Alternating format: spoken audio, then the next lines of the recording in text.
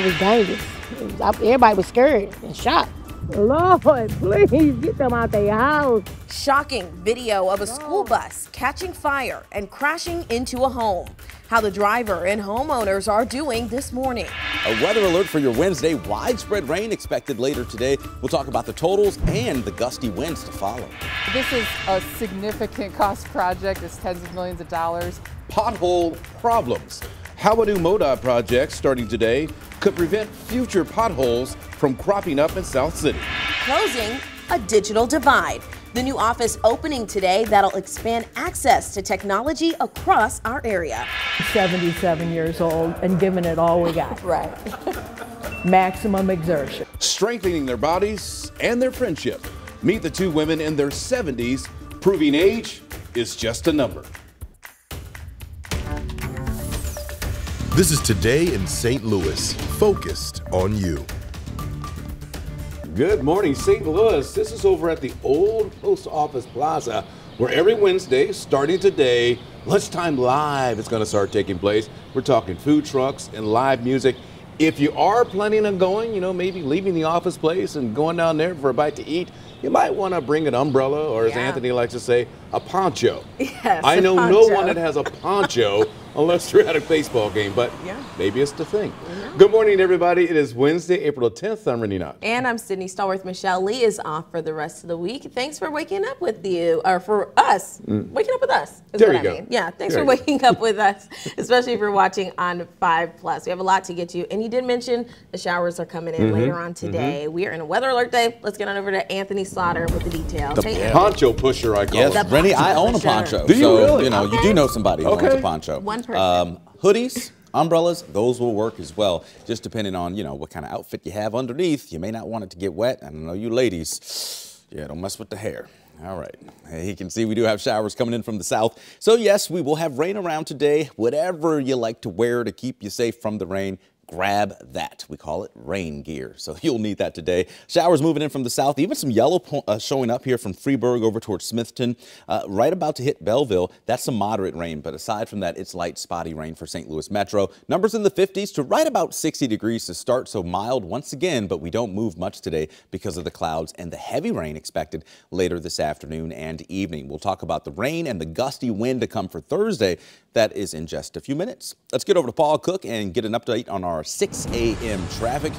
Paul, starting to get heavy out there. Yeah, uh, volume heavier, and we do have wet conditions in some areas. I do think we're moving better here at the inner belt. The inner belt right before 6440, and this would be 170 going southbound. I see 48 miles an hour there, and we had an accident that should be moved aside very soon because I've been looking at the cameras. Very normal speeds there, very normal speeds everywhere right now. So if you're leaving in the next 20 minutes or so, you should be good. Construction coming up here on 44 at 47, so Franklin County, but then again at 109 tonight. So yes, construction, we're always talking about it. Otherwise, you're just very, very green, as you can see here on the big map. And well, I think that crash should not impede your route. Same story with the Poplar Street Bridge. You are flying.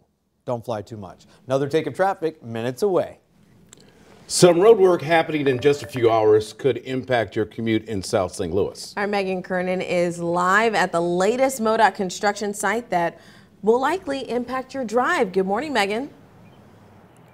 Good morning, Sydney and Rennie. That's right. In just a few hours at 9 a.m., crews will get to work on the ramp behind me at southbound I-55 in Bates. Now, MoDOT crews will close this ramp for about a week or so, and they'll be updating shoulders, curbs, drainage, and guardrails all along the ramp at exit 203.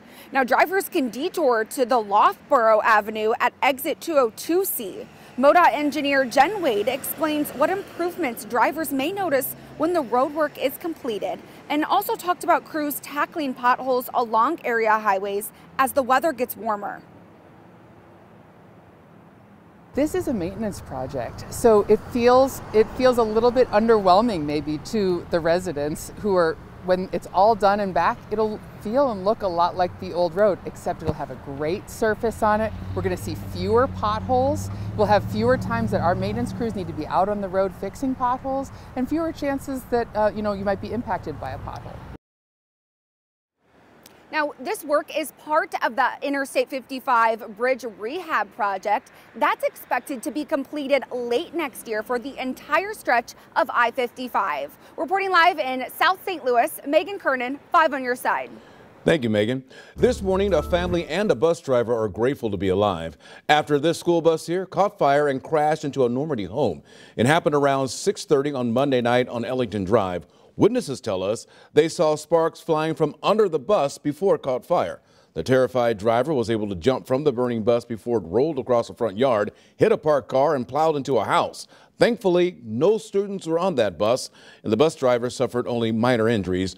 No one inside the home was hurt. Investigators don't know what caused the fire, though. Closing the digital divide. This morning, the Urban League is teaming up with some tech companies to do just that. And this has been an issue for some time in our region. Our Travis Cummings is joining us live this morning in Jennings.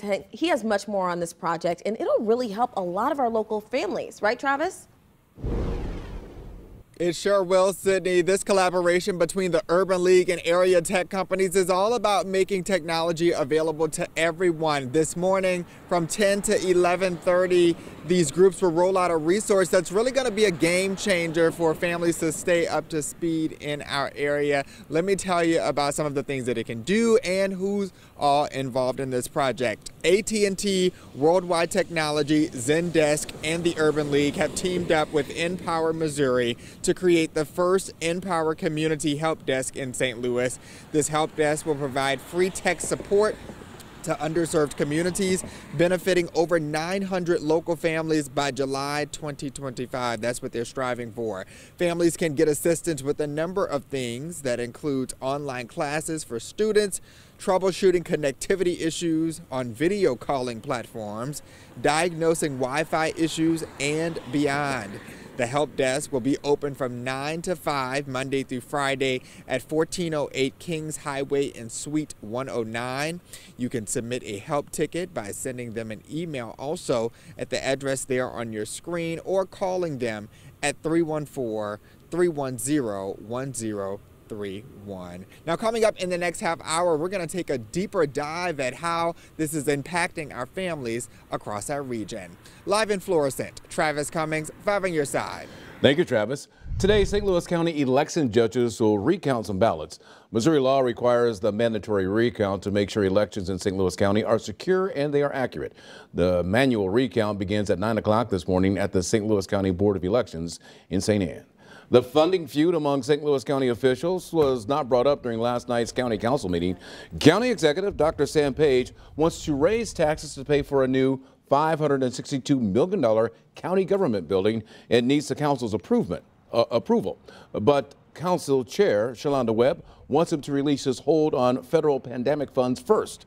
Page's office says he's never connected his project to ARPA funds.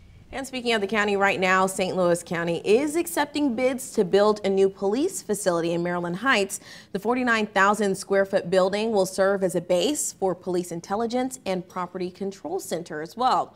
Federal relief money is funding the $46 million project and construction is expected to start in June. All right, if you're just waking up and joining us, we are talking weather alert this morning because of rain. It's expected to become heavier through the day. So at the bus stop this morning, it's just a light shower. Kiddos don't need the umbrella or the ponchos, maybe just something with a hoodie. Uh, 58 degrees to start the day. We go into the afternoon, numbers in the 60s, but it's the heavy rain that comes our way this afternoon and evening.